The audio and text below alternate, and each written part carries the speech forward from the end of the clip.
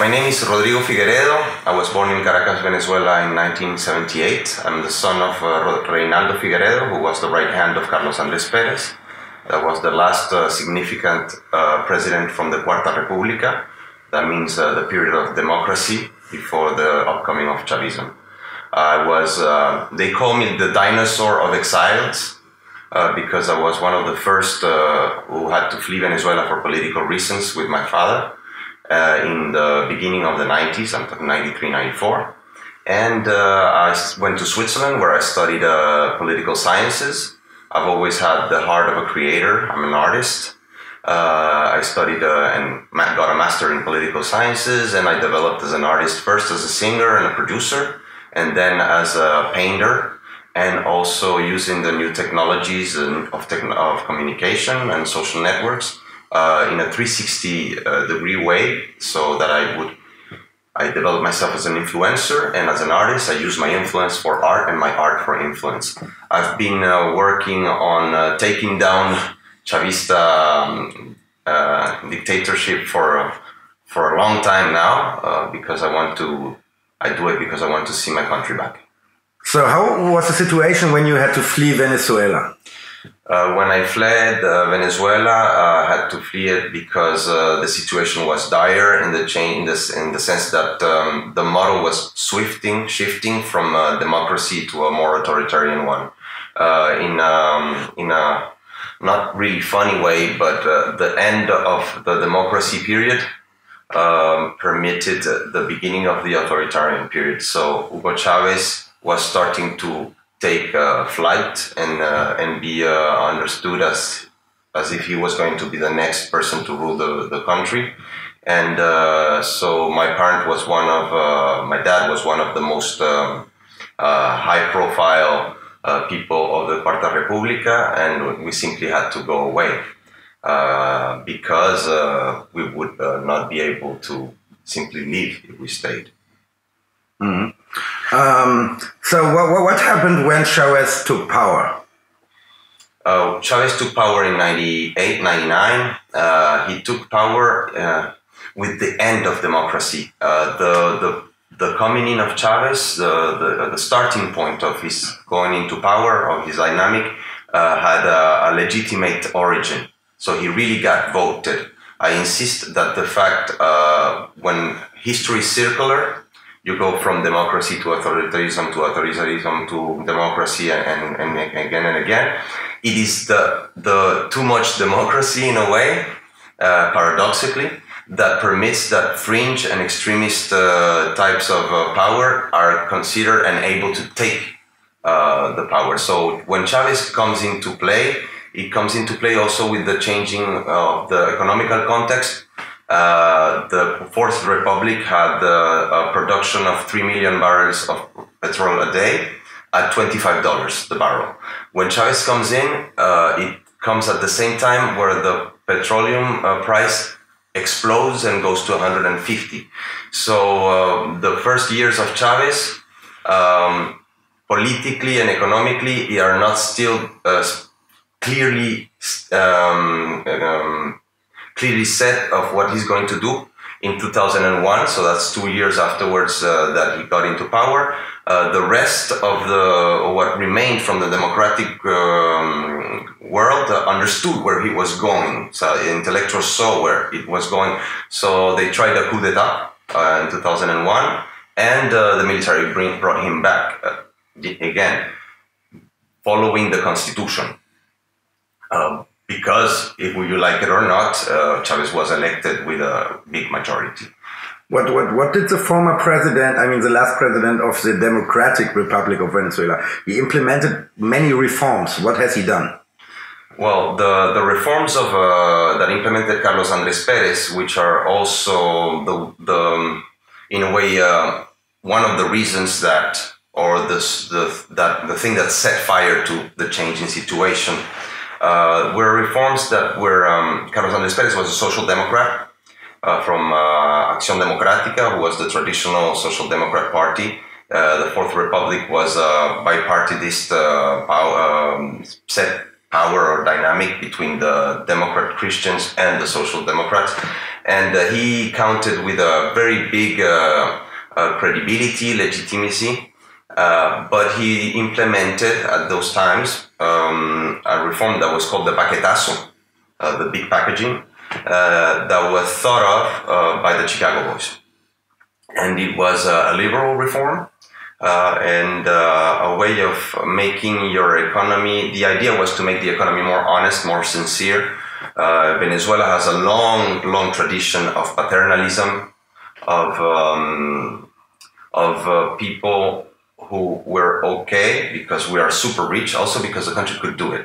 That we're okay to uh, to give away their freedoms if the state but has different names on times you know. First is the libertador then the caciques then the dictators then democracy then the providencial state. So people were okay to to leave their freedom uh, as the states keeping monopolies would give them back uh, something so the paquetazo was uh, to give you a very specific example uh, venezuela has always and still has uh, but now there's no more uh, gas at all. But Venezuela always had uh, the cheapest gas in the world because we have the biggest reserves in the world of, of oil. And uh, selling um, gas at two cents a liter when the average in the rest of the world is one euro one dollar a liter, to put it in simple terms. So the paquetazo was a way also to mm, open this, the economy. Uh, Venezuela economy at that time, I'm still talking about the, fourth, the end of the Fourth Republic, uh, was held by monopolies, oligarchical monopolies, state monopolies, private monopolies, but always in the universe of, uh, of, uh, of the state and, uh, and, and related to that. And the idea was to open the economy. So the upcoming of Chavez, of the dynamic of Chavez, is not only a romantic uh, um, a romantic dynamic of a Robin Hood, as uh, Europe saw him for a long time, uh, that fought against the injustice that the system wanted to apply. And it's very paradoxical because Carlos Andrés Pérez was really a social democrat and the Paquetazo was a little bit liberal. So he was in the middle. It was about being pragmatical and realistic. Uh, it was more also that the old elites and the oligarchy saw uh, danger in opening the economy because they would uh, enjoy uh, uh, safe monopolies and suddenly is the one who would held the, the distribution of water or soda or something like that he would have to compete with nestle or coca-cola and they didn't like that uh, going from a situation where you have all the money coming in secured and the state is defending your your business to uh, an open world where you have to be com uh, competitive mm. uh, so let's go a little bit more further uh, what happens then with chavez after a few years well, Chavez, uh, after a few years, uh, changes the constitution. Uh, the constitution uh, he changes it with a with a legitimate base because he still uh, uh, rejoiced and enjoyed a very big consensus. And at the beginning, for me as a politologist, the breaking point is that um, after this, when the second mandate is about to finish, he makes a, referendum because he wants to change suddenly his own constitution that uh, said, and a lot of constitutions in the world have this, that you have two mandates that you can follow up, and after you have to leave in order to, to and if you want to go as a candidate again, you have to wait for a mandate, which is very logical in because otherwise, if you have a, a grip on power in a specific context like in Venezuela, once that you are in the state, you have all the state resources uh, going back to what I said before, the, the oil was 150 uh, dollars for barrel, uh, and he controlled it. Uh, the state controlled this. So he made this referendum asking the people uh, that he wanted to change the own constitution that he set up a few years before to have an unlimited uh, mandate. And that is the only official election that Chavez lost he called it La Victoria de Mierda. He lost uh, 51 to 49 and proceeded, even if the people said no, because people didn't want, even to Chavez, at the height of his uh, charisma and, uh, and dynamic, uh, they didn't want to have unlimited possibilities of mandates. And he proceeded to anyway go over the people and having it um, applied with the Congress, which at that time the Congress was Uh, the opposition was not represented in the in the in the Congress because the, the opposition has chosen to not participate because as a way of protesting, and he passed over the the the, the will of the people, and he imposed his will. For me, as a politologist, that is the moment, the breaking point, where actually the constitutional line was broken for real. That's what happened uh, at the middle, at beginning of middle of Chavez uh, dynamic. Um, let's talk about the connection between Cuba um, and Venezuela. I mean, the, the connection came for sure with Chavez, even more than, than ever before.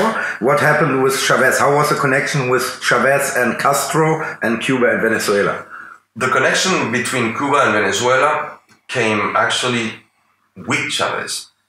Uh, Venezuela was one of the oldest uh, democracies in South. It was the oldest democracy in South America. It started in '53, where all the other countries were uh, still having military dictatorships.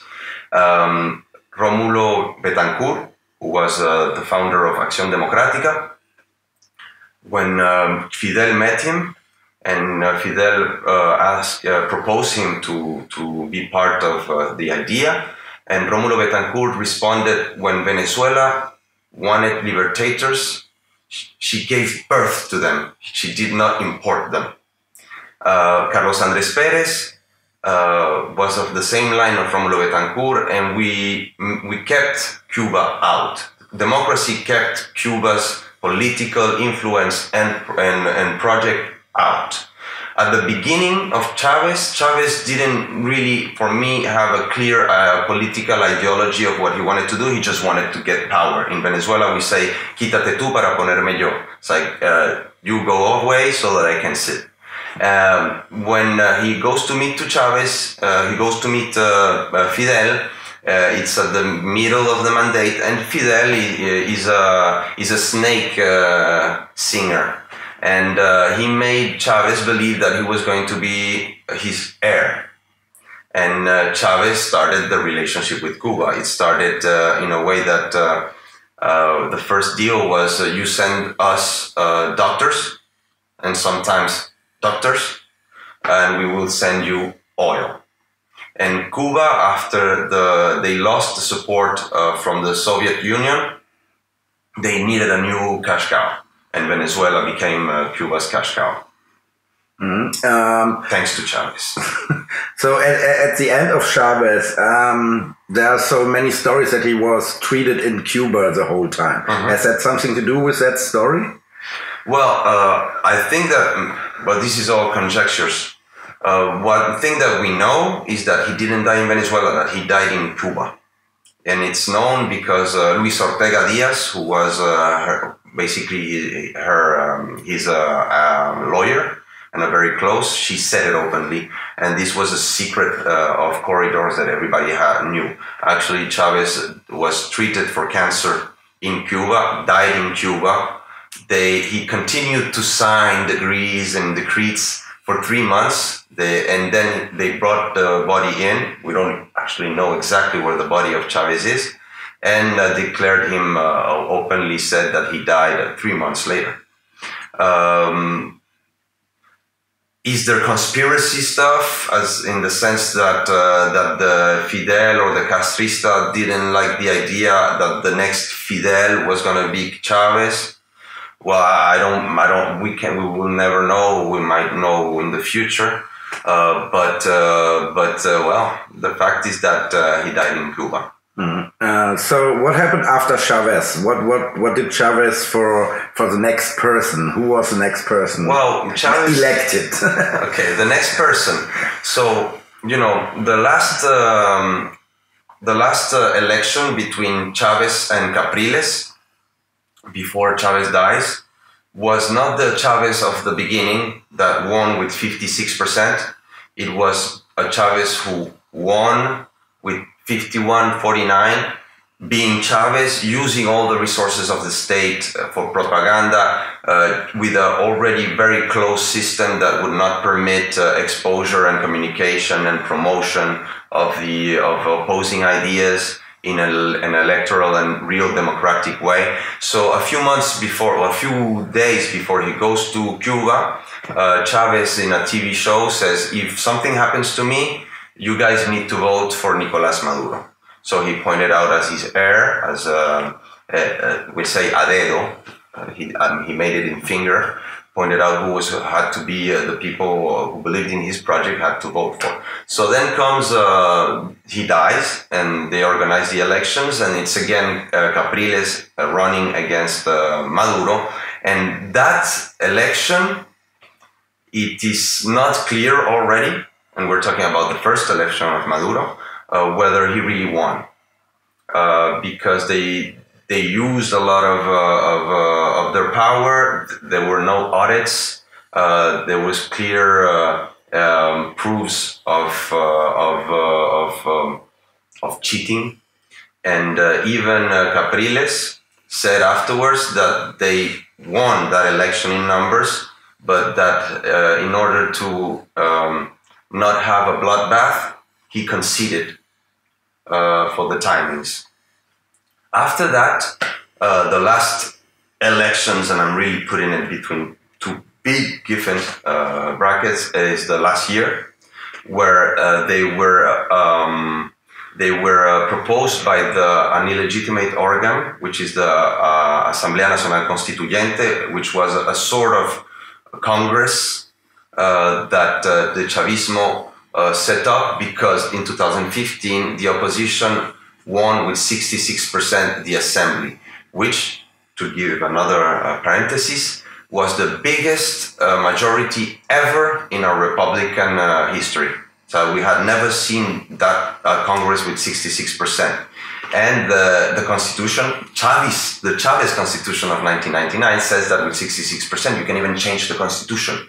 But uh, the Chavismo never um, never implemented one law they voted. They always veto it.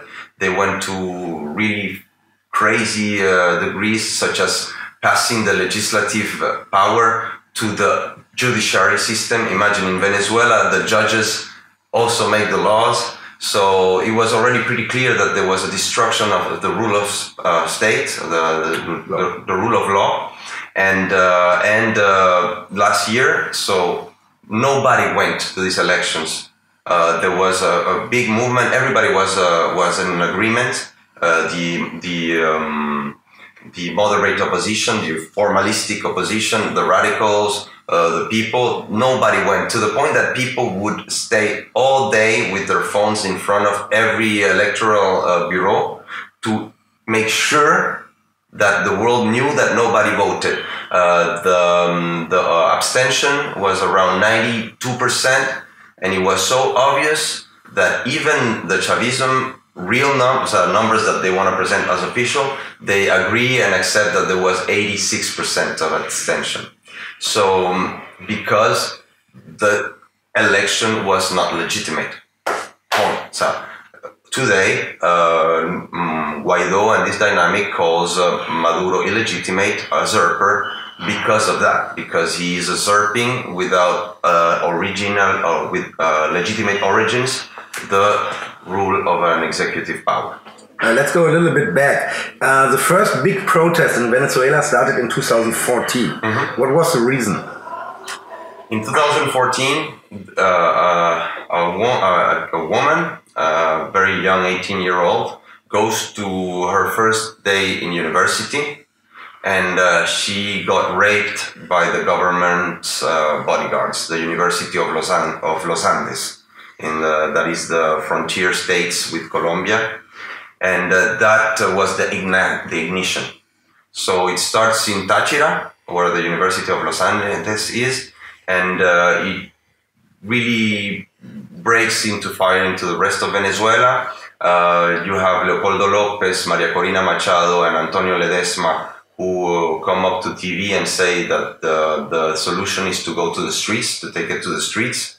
And they take it to the streets in February 12 to Caracas. It's a massive, um, massive uh, manifestation. Then they're trying to walk uh, to Miraflores, to the presidential palace.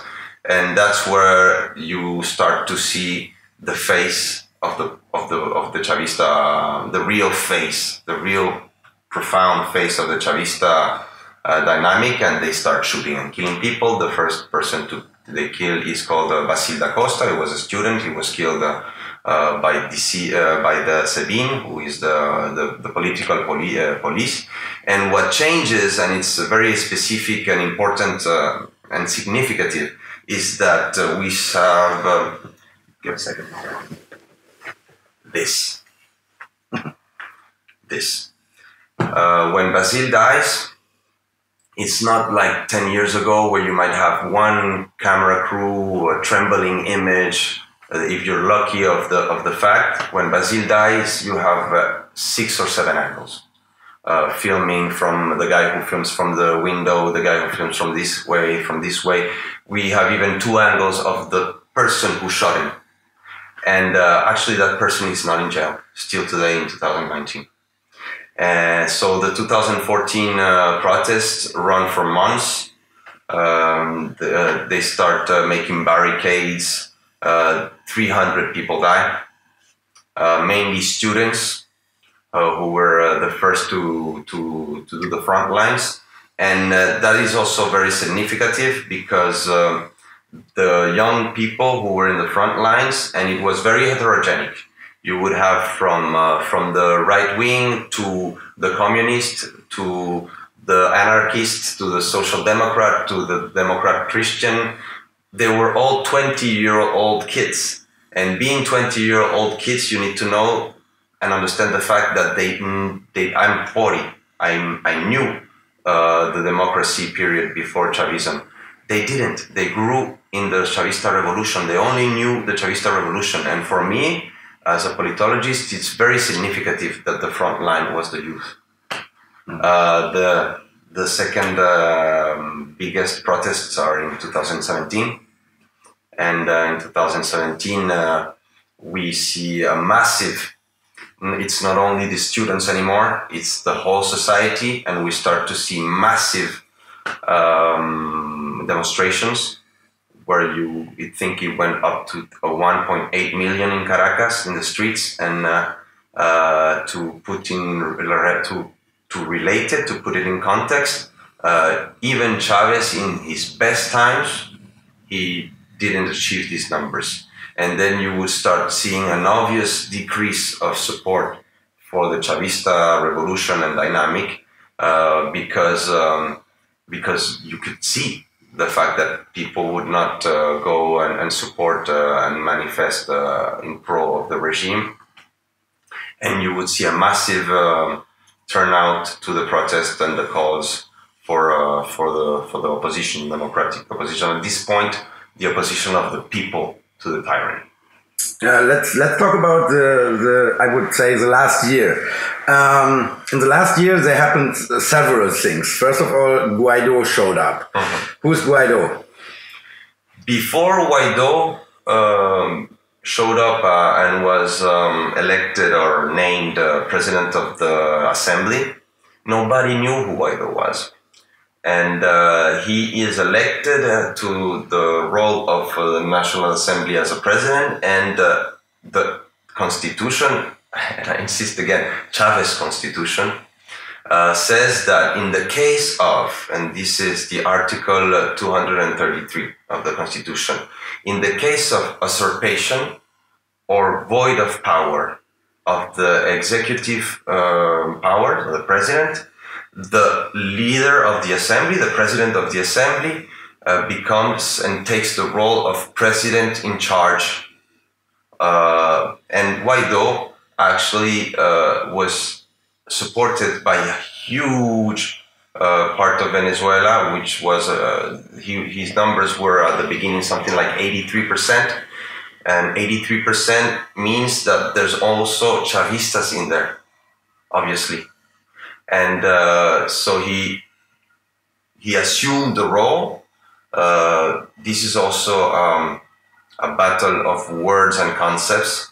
Uh, for us, for me, he assumed the role, so he did what the Constitution meant him to do and uh, he became the face, uh, the new idea of leadership and uh, hope in order to to stop the usurpation and the unjust, unjustified, and um, and um, illegal grasp of these tyrannic people on the power and over the people of Venezuela. Mm. So I just give you now some words, and you just fill it up what you think about that. So first, uh, we start with uh, Chavistas. Uh, Chavistas are people who believed in a personal uh, project of, uh, for me, uh, a resentful uh, military person. And uh, for me, Chavistas can mean a lot of things uh, because I make a difference between um, a Chavista from the regime, a high class official, and uh, a Chavista from the favela or from middle class who believes in a project because he dearly does or because he's ignorant and got manipulated. Uh, a Chavista for me today is uh, somebody who participated in uh, in hurting the definition of being Venezuela, of being Venezuelan. Uh, a Chavista is somebody who has the Carnet de la Patria. Carnet de la Patria is a card that uh, enables you to have the benefits of the revolution benefits. They say it. Uh, they call it benefits, but to, to be an official slave of the, the revolution dynamic. Whereas for me, a Venezuelan, if you're born in Venezuela, you're Venezuelan. It doesn't matter if you're white, black, Indian, Protestant, Jew, Muslim, uh, from European background, from uh, from Metis background. Uh, we have the insolis identity. If you're born in Venezuela, you're Venezuelan. We also have a very strong cultural identity, uh, and we're very integrative. And uh, for the Chavistas, being Venezuelan is not enough. You need to be Chavista to be Venezuelan. Whereas for me, being Venezuelan is more important than to be Chavista. Uh, uh, the Chavista dynamic divided. Hugo Chavez divided. It was uh, a negative leadership who, who divided the country in two, saying uh, these ones are good Venezuelans and these ones are bad Venezuelans. Uh, the Chavista is a person that willingly or unconsciously, depending again if you're a top official or just somebody from uh, from the peoples, that uh, created or participated in different degrees of responsibility to the situation, uh, the dire situation we have today. Uh, so let's talk about uh, in 2012, Nicolas Maduro said it's illegal for normal people to have guns. After that, he gave the guns to the colectivos. Mm-hmm. What's the role of the colectivos? Guns and colectivos. The colectivos are sort of a Praetorian guard uh, of the Chavista um, revolution uh, dynamic. Uh, not from 2012, but already even uh, they existed even from before. Uh, the more the Nicolas Maduro could not, and the other uh, big officials from Chavismo like uh, Diosdado Cabello, uh, Tarek El Aissami, um, Freddy Bernal, all these people, the more they could not trust the military, even though the military, for most of it, supports the regime for different reasons, the more they would uh, try to implement their own Praetorian guards. Uh, the colectivos are terror. The colectivos are um, are kind of like the SS, the Stasi, or uh, the Gestapo. Uh, the colectivos are private uh, mercenaries of a political project. And uh, the guns in Venezuela, in Venezuela there are guns. Uh, even though uh, constitutionally it's illegal, there are, it's society who it's a society who has guns. Uh, from one way or another, most of the guns that the, the the, the gangsters have or the colectivos have, and sometimes it's they mix and or one becomes the other. Uh, in prisons, uh, there are guns. Uh, so much to the fact that uh, the the military or the police will just control the walls, and inside they don't control anything, and it's like a university for crime. And the level of guns they have inside the prisons is they don't not only have handguns, they have grenades, they have AKs, they have FALs, so you mean assault rifles. Not only they have that, uh, once uh, the military tried to go into a, um, a jail, a prison, and they were received, and the, the, the, the inmates defended themselves with a .50 caliber. A .50 caliber is um, is a heavy machine gun that uh, only the the main piece is maybe 60 kilos that you shoot from a trépied, you shoot from a, from a feet. So that's the kind of guns that your woman cannot bring you inside of her when, when you, she comes to visit. Now in society, guns. So mm, the normal society, the normal people don't have that much guns or don't have them simply. But uh, the gangsters, the colectivos, they're supplied directly by the state. There is a monopoly in the production of, uh, of ammunition in Venezuela called CAVIM. So to have ammunition in Venezuela, it means that in a way or another, you were in relationship with the military. So the guns are distributed to the civil society, but just to the chosen civil society again that the regime wants to use for their political agenda. Uh, in the protests, uh, the kids were throwing rocks, molotovs, and a very special of our own uh, puputov, which is a molotov, and you can guess what it has inside.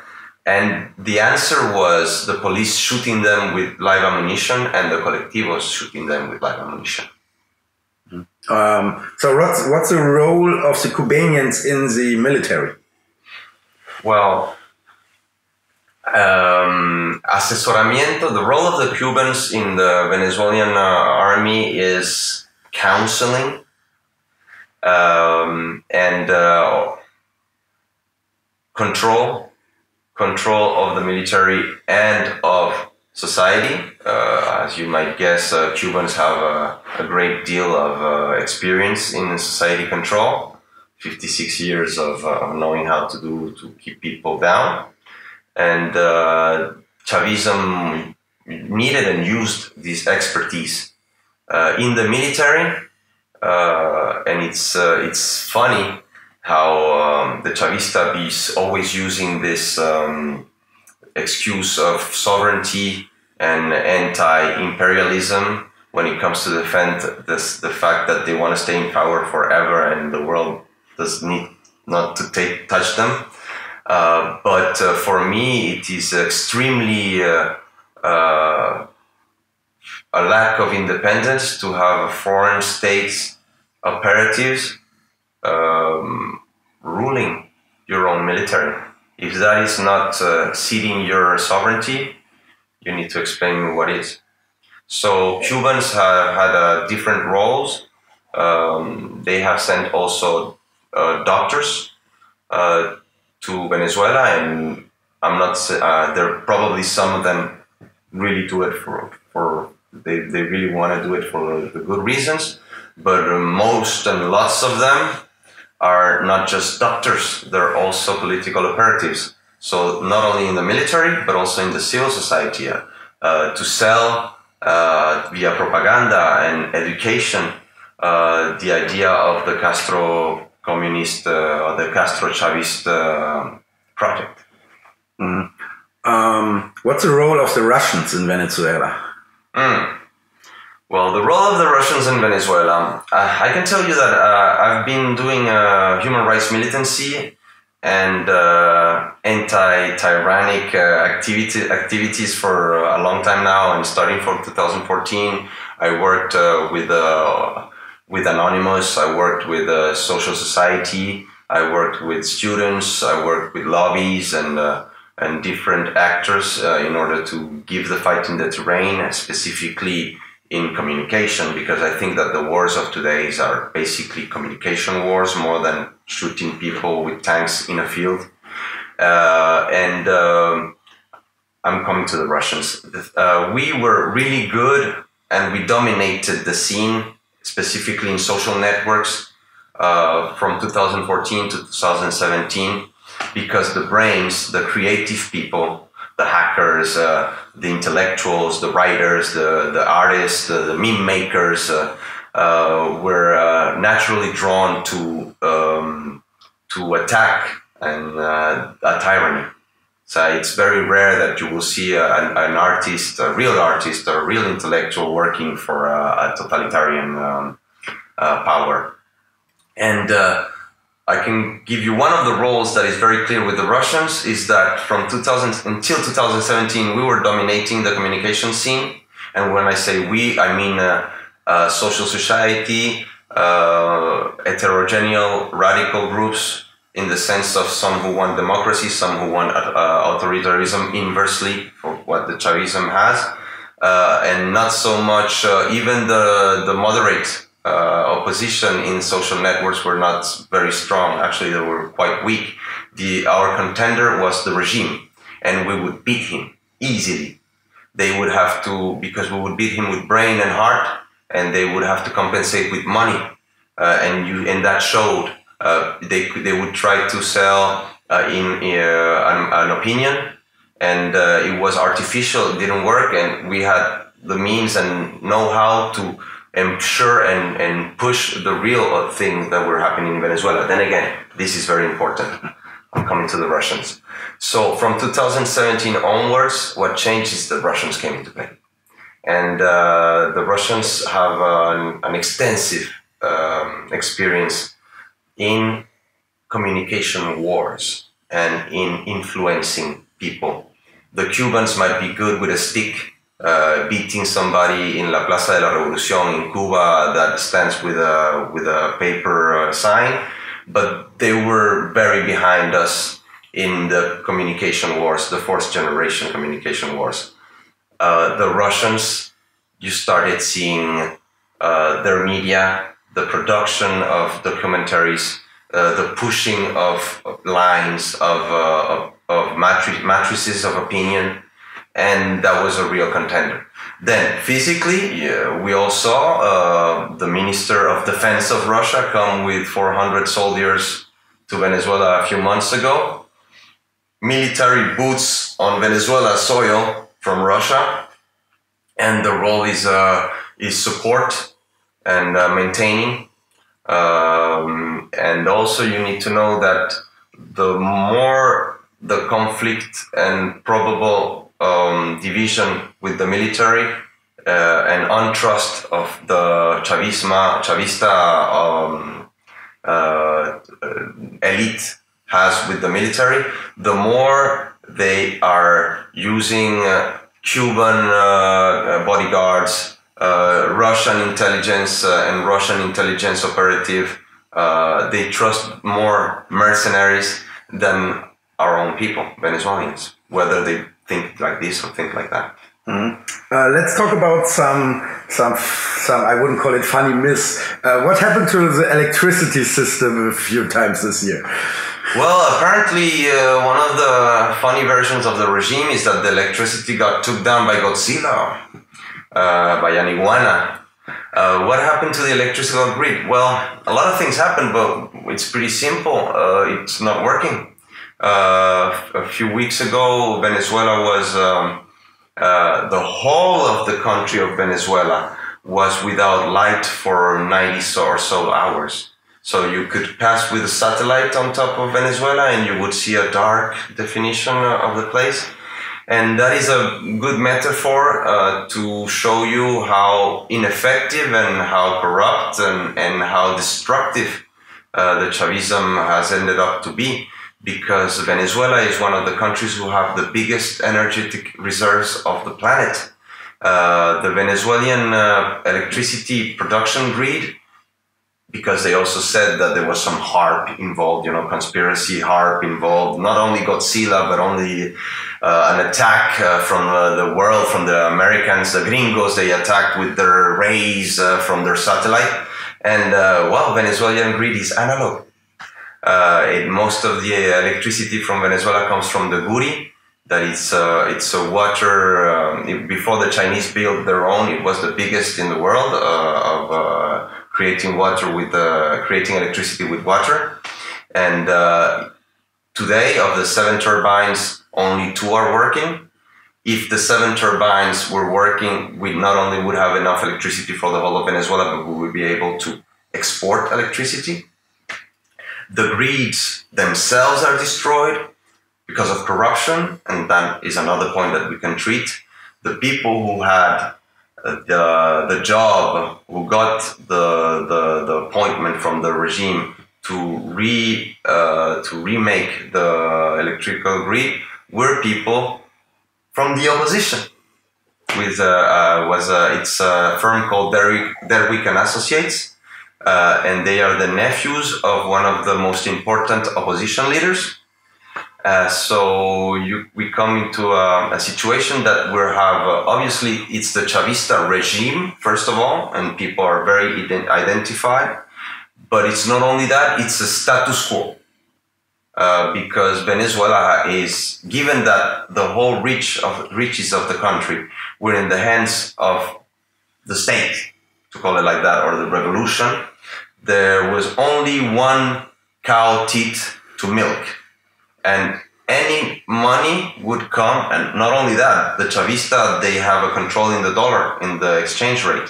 So the hard coin the hard money is the dollar and the regime controls it. So even if you had um, a private uh, enterprise that survived somehow uh, 20 years of uh, nationalization and uh, and destruction of the production capacities of the country, uh, those dollars come from the regime. So, um, what about the myth that uh, Venice, the democratic socialism of the 21st century, just had the problem because today the oil prices are so low? Uh, well, the, the Chavista call themselves the socialism of the 21st century.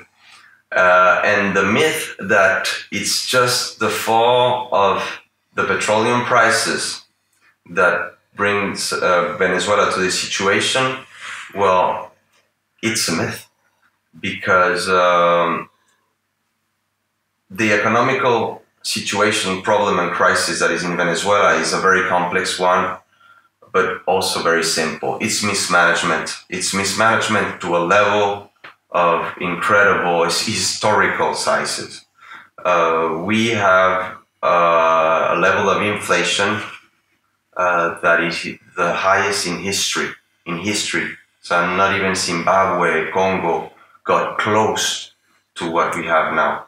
And uh, look at it like this: uh, before Chavez comes, we were producing four, three million barrels a day at twenty-five dollars the barrel when Chavez comes, it uh, it happens that uh, petrol oil goes from twenty five dollars a day uh, a barrel to 150 and this for six or seven years. So the entrance of money to venezuela was also historical. And uh, the chavism is calculated today to have stolen something around 30 marshall plans one Marshall Plan was sufficient to rebuild Europe after the war. We have lost, or it has been lost to nature and corruption, 30 Marshall Plans.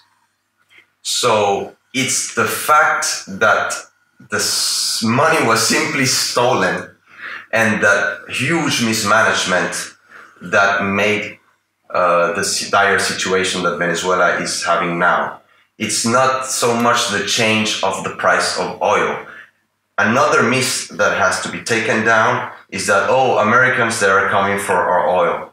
We never stopped selling oil. Chavez never stopped selling oil to the US. In fact, without the dollar, the Chavista revolution would have not existed. And you went from a situation where we were selling the 3 million barrels a day in democracy until the, the beginning of the 90s uh, at $25. So, yes, maybe the distribution of wealth in society was not just. Maybe the elite was keeping 95% and the people were getting 5%. I'm not saying these are the real numbers, it's just to give you a simple example. And when Chavez comes, uh, maybe uh, he makes the clientelization and he just needed to go from 90, keeping 95% to keep 94%. So he could do a big clientelization plan with just 1% more, but just that 1% more of 3 million barrels a day at $150, it's huge. What is what is about uh, another myth is that U.S. sanctions destroyed Venezuela. When did the sanctions start? the sanctions start uh, last year and the sanctions that have uh, been put into the Chavista regime are personal sanctions to specific people.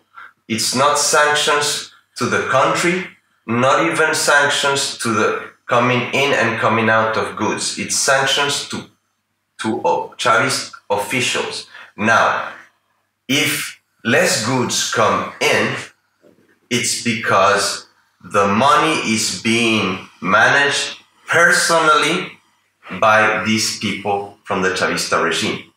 So the money of Venezuela cannot be used to buy all the very needed food, very needed medicines, very needed car parts, very needed everything because maybe 25% of the GDP of Venezuela is in hands of Diosdado Cabello or of uh, Rodriguez or of uh, Tarek El Aissami.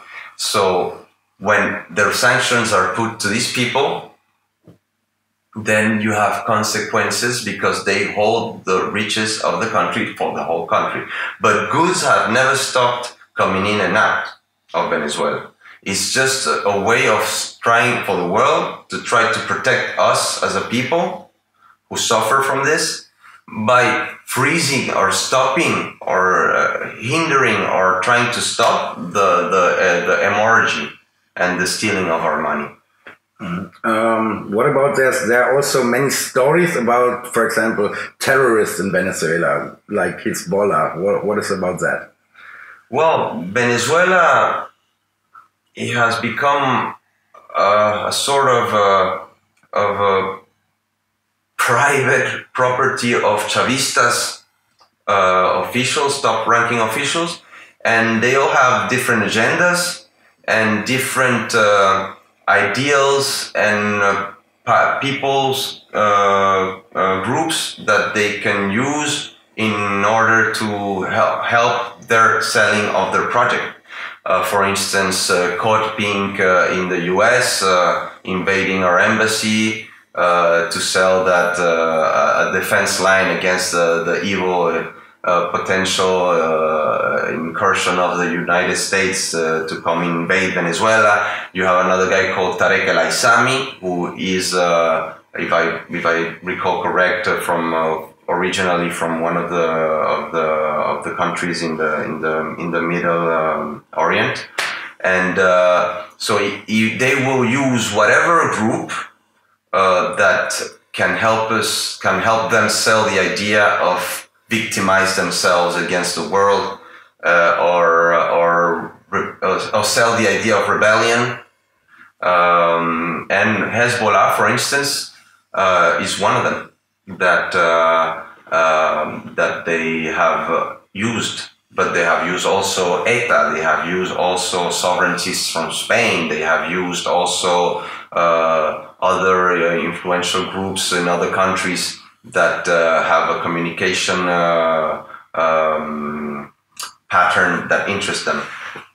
And I, I don't know so much about those details, but it's it's official. I, I think that uh, many uh, operatives from these different. Oh, I forgot FARC. Obviously, the FARC are very friendly with the with the Chavista regime. uh, that uh, suddenly operatives from uh, Hezbollah or potential terrorists are given uh, Venezuelan passports. And Venezuelans all over the world don't have passports, and the regime refuses to give new passports to Venezuela over the world. That we are now a huge diaspora, um, and that's very unfair. Hmm. So um, another question would be: uh, You're going directly in the direction of being world number one drug trafficking. Yeah, because uh, uh, when the Plan Colombia uh, was implemented and uh, the, the, the United States came in to try to stop the uh, uh, exports of cocaine from Colombia. People all over the world still had demand for the drugs. So what happened is there was a shift, and Venezuela doesn't produce that much. the production of the cocaine continues to be happening in Colombia, Ecuador, and Bolivia but it became the the hub, the place from where it goes away. Now, Venezuela, if you take, for instance, Mexican cartels, uh, the Sinaloa cartels, and everything like that, uh, there are still um, regional powers or powers that are in confrontation with the government at different levels, uh, and they become huge uh, power realities. But Venezuela took it one step further. Uh, El Cartel de los Soles, it means the, the cartel of the suns. It's called like that because uh, generals in Venezuela, instead of having stars, uh, they have suns. And the Cartel de los Soles became, or, or is in the way to become, the biggest cartel in the world. Because it's not like the Sinaloa cartel that they might have armies uh, with uh, even even with pickups and and uh, .50 caliber uh, heavy machine guns on them. But the Venezuela cartel has S300 anti-aerial uh, batteries, uh, Sukhois, tanks. It's a cartel with tanks. Mm. So um, let's talk about a little bit. I mean, everything what we were talking about was hardcore, but let's talk about like people eating household pets. Let's talk about eating, people eating animals from the zoo. Well, every Venezuelan, uh, there's a statistic that says that on average, every Venezuelan has lost 15 kilos. Uh, so the lack of proteins is uh, dire to the fact that uh, we have uh, uh, one of the highest infant mortality rates in the world. Uh, you see incredible images of people eating on the trash. Uh, you see uh, a massive exodus from Venezuela. Uh, the people going out from Venezuela uh, because there's hunger uh, is is biblical, is historical, and the reason that the food is lacking that much is that the production of uh, the, the apparatus of production was destroyed because corruption made uh, the making money was about spending the dollars. So it was a import orientated economy, specifically and only for the ones who would, in a monopolistic way, hold the dollar. So the idea was to not produce meat, not produce flour, wheat, or maize, but to buy it from sometimes even the US. It's very hypocritical from the Chavista. They would buy the wheat uh, from the US, the meat from Brazil, uh, anything, because the business was spending the dollars. So you would have uh, very un, unregular situations where the guy who made the beast in the deal to bring the food, uh, he just wanted to to get the dollars uh, with corruption ask for a higher price for the for the, the chicken. And you would find months afterwards the chicken buried. So it was not even about really giving food to the people. It was about bringing the food in making money with that through corruption and they didn't even bother to distribute it actually the food was proof of corruption so they burned it or buried it that from one side. From another side, the Chavism is using hunger and food as a chantage, as a means of, as a political weapon. So hunger is um, weaponized against the people. So if you don't have the carnet de la patria I was talking about before in Venezuela, you don't eat. Why do you don't eat? Because you can try to go and get the food in the black market, but the situation is so bad that we're having inflation, not in, not just in millions uh, of in the bolivar currency, but we're also having, and this is crazy, we're having inflation in dollars because there is no food in Venezuela. What about like women selling their bodies? That's one of uh, all prostitution, of uh, prostitution, uh, uh, human slavery. All of those are are consequences and uh, externalities of uh, the situation.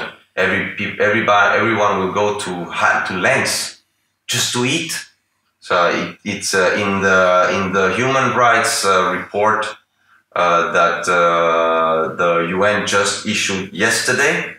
it's it, they say they take up they talk about this point about the the woman that that give their body just for food, not even money, just to eat.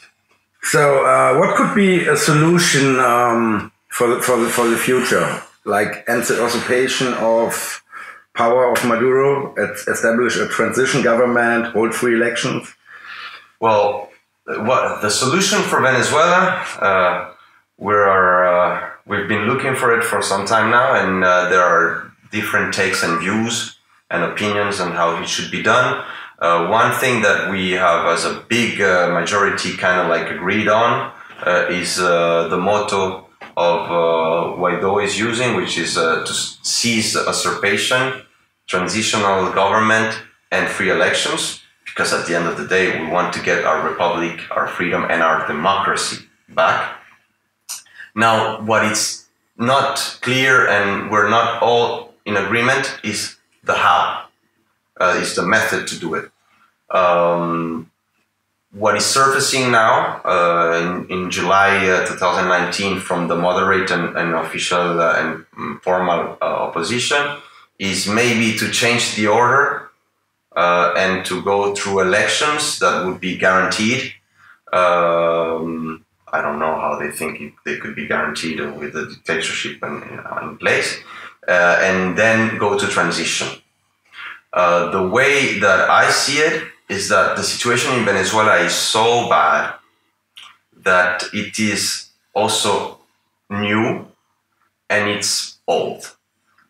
The situation in Venezuela is the equivalent of Nazism, of of, of uh, Stalinism, of Pol Pot, of uh, of uh, take it back in, in history of Leopoldo in Congo. Uh, but this is a new expression of it.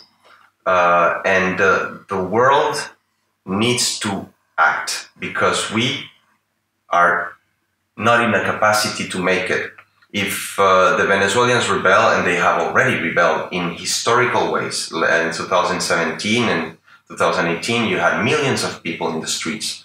Uh, the, the, the, people who made the more active protests, the barricades and things, they took it really serious, um, but they got shot at. And um, yeah, not all, not all of them were in the idea or the capacity of uh, of uh, of uh, proactively responding to violence with violence. And uh, as the coalition in the Second World War came to Europe to save Europe from Nazism, Something like that should be done also for Venezuela. Uh, because Chavism is in a sort of way that, but the, the, the, the Latin American uh, version of it. Uh, the, the, the people who have come out of Venezuela were more than 4 million now. That is around 10 to 15% of the population. Uh, that is just last year, 2.4 million people came out of Venezuela. To put it in perspective, that is more more migrant movement than the whole of Africa towards Europe, just coming out of Venezuela. That tells you that the situation is very bad. Um, for me, the solution it would be the the the more open, the more legitimate, but the more determined military intervention with the co-option of people because there is a part of the army and the Venezuelan uh, huge, uh, very majority, uh, majority part uh, of the Venezuelan society that is willing, just like Simon Bolivar did in history, to recuperate our sovereignty, our republic, and to rebuild a Venezuelan identity that now is broken and divided uh, because of the egoism of one little uh, minority who, in a very authoritarian and totalitarian way, is imposing his model that is not working and creating all this bad for Venezuela. So the world needs to help us and react. And we're in a situation today, also, you have to take the context of politics and geopolitics today, uh, that uh, makes that harder in a way. The Venezuelan problem is not just a regional problem or a problem of a country. The Venezuelan problem is the problem of the world. There are many uh, straits, there are many levels to this, and also the geopolitical level. Uh, you have also a clash of models between uh, uh libertarian models and authoritarian models, uh, between uh, Putin's world and if it still exists, but it's very weak, an occidental democratical world, an open world. Um, uh, and uh, what happens in Venezuela uh, will be an example and a sign of what might happen with the world in the future. Mm. Would you recommend, I mean, recommend is maybe the wrong word, but would you support an intervention of the US? At this state, I would support the intervention of a bonsai tree. If a bonsai tree comes and has the power to take away the Chavism, I would support the bonsai. Uh, obviously, I would rather prefer a very large uh, uh, group or coalition because it would give more legitimacy and would hinder the possibility of counterattacks in communication, such as, oh, it's again the United States coming for the oil and things like that. Uh, so if there was an intervention from the UN with blue helmets, then good, because it's big. But I doubt it that uh, the UN, given the situation now and the way it is, would do that. But uh, I would support it maybe not just completely just them as Panama, but maybe uh, a, a, hybrid of uh, Venezuelan forces, Colombian forces, uh, Brazilian forces, uh, European forces, France, Germany, whoever is responsible as a human being uh, and to stop the massacre and to stop this dire situation that would come and help us to stop. Let's put it in simple words. This is like a bully in a school who is bullying the kids and the teachers, and that there has to be an intervention to stop the bully bullying in school in order to let the school work, the big majority of the work, good. Uh, because otherwise he would disrupt even the education of everybody and even the people working, uh, or leaving the bully rule the school. Mm. If you, if I could if I could make it happen for you, the last question, you had one free wish from me, and I it would be happening. What would you wish? Yeah, if I had one wish and it could happen, it would be uh, uh, to disappear all the status quo elite that holds uh, my country and my people in uh, in the situation. And uh, Venezuela is so rich that uh, just taking away these people, we would be able to rebuild, construct, and develop our countries to be one of the best, top, most beautiful countries in the world. Mm. Uh, just the last thing, could you imagine walking through the border maybe by feet from Colombia to a free Venezuela? Is that in your mind? It's a dream. it's a dream for me.